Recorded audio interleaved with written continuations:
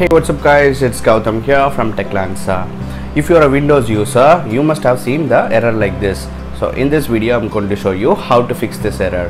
That being said come let's get started.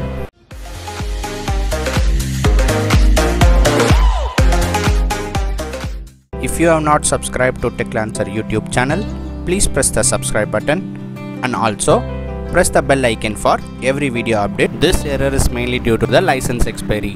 To stop this dialog box from popping up regularly, there is a small trick.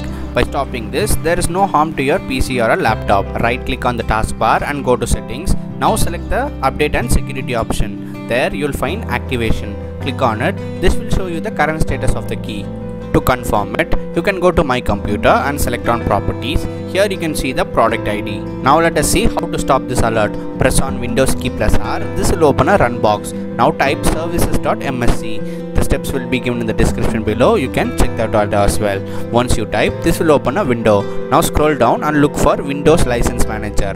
That is a particular service which causes the alert to trigger.